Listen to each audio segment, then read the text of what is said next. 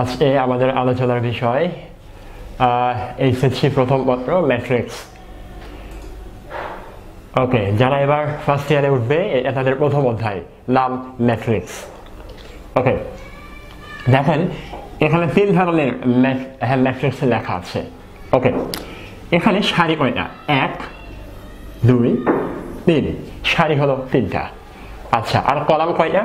Column এক column দুই column কত তিন তাহলে এই ম্যাট্রিক্সের order O R D E R order হলো থ্রি গুণন থ্রি আবার দেখেন এখানে সারি কয়টা সারি ওয়ান সারি টু সারি থ্রি এটা হলো সারি। আচ্ছা।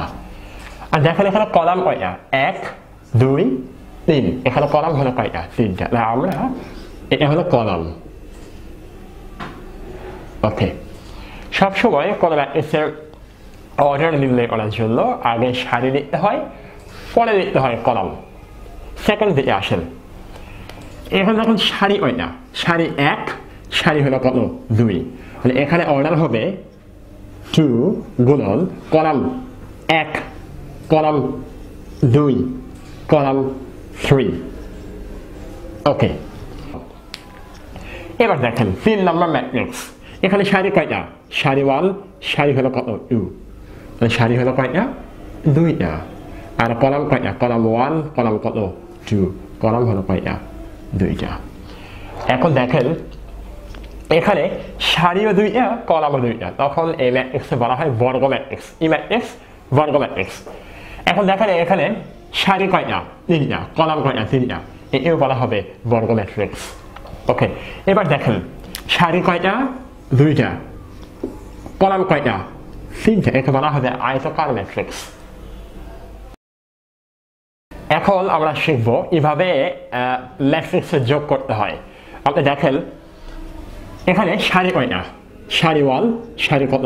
টু আর কলাম কয়টা? Column one, column two column কত? থ্রি এর অর্ডার কত টু গুণন কত থ্রি এর অর্ডার কত সারি কয়টা আছে দেখেন আপনি সারি হলো দুইটা আর কলাম কয়টা তিনটা ওকে একটা শর্টকাট করে দিই আপনাকে যদি দুটা ম্যাট্রিক্স যোগ করতে চান যদি তাদের অর্ডার সমান না হয় সেটা কখনো যোগ করা যাবে না আমি বলি যদি আপনি দুটা ম্যাট্রিক্স যোগ করতে চান তাহলে যদি তাদের অর্ডার অর্ডারগুলো সমান না হয়, কখনোই এই যোগ করা যাবে না। এখানে অর্ডার সমান আছে, তাহলে এই যোগ করা যাবে। আচ্ছা। যোগ করেন। এখানে কে আছে? ওয়ান এখানে কে আছে? টু দুই আর যোগ করে কত হয়? থ্রি এখানে কে আছে? টু ঠিক এই জায়গায় কে আছে? ফোর কত হয় এখানে? ছয়। এখানে কে আছে? থ্রি এখানে কে আছে?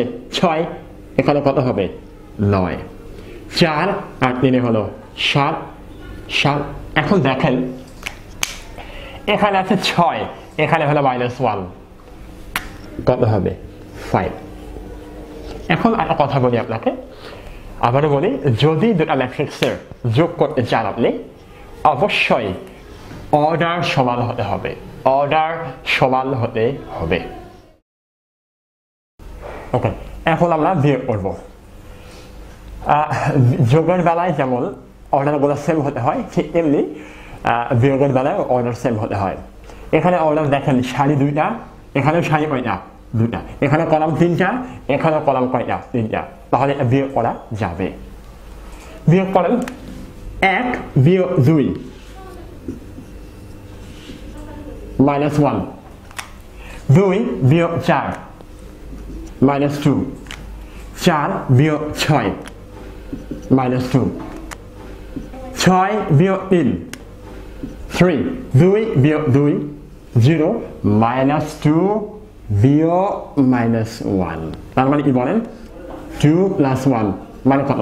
থ্রি মাইনাস টু বিয়োগ মাইনাস ওয়ান তার মানে কত বলেন? Minus two plus one